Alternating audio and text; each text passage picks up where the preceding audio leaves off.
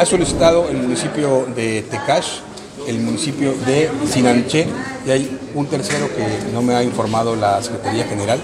Es únicamente, o sea, entraron a la oficialía de partes y todavía se le va a dar turno en la mesa directiva a la, a la Comisión de Presupuestos. Están solicitando poder abrir la posibilidad de, de, recibir recursos extraordinarios, ya sea del gobierno federal, del gobierno estatal, pero si no lo contempla su ley de ingresos, no pueden ni siquiera eh, tener la posibilidad de, de recibir estos recursos. Esto en particular para pago del laudo.